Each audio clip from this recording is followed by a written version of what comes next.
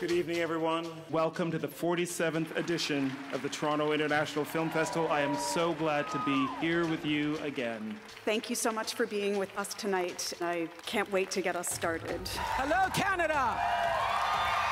Hello! This is astonishing.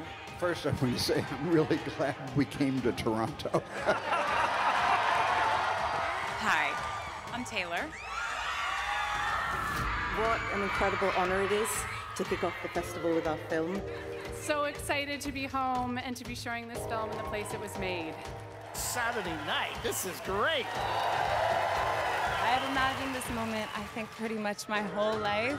This film is for the risk takers. I love you too.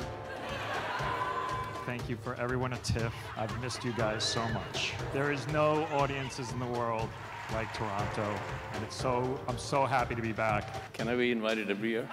I'm so filled with a lot of emotions. My heart is full. I cannot say any word. I cannot even explain. There's so many things you could have been doing on a Monday night, but you're here to watch our big little film that could. I am finding myself very moved and humbled, to say the least. Love you, Toronto. Love you, Tim. I do have to thank TIFF for your commitment to the art of filmmaking. Thank you, Share Her Journey, for your work championing women's causes. And thank you for this groundbreaker award. I wanted to just acknowledge all the people who work on this festival and how hard they work to make it happen and the dreams that they give to people. First of all, I think you're the greatest audience in the world. Seeing it with you means so much to us.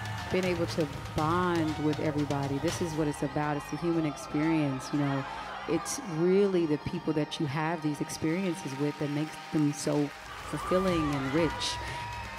It's the audience that gives cinema life. So I must thank you for keeping me in the job that I love. Because it's nice work if you can get it.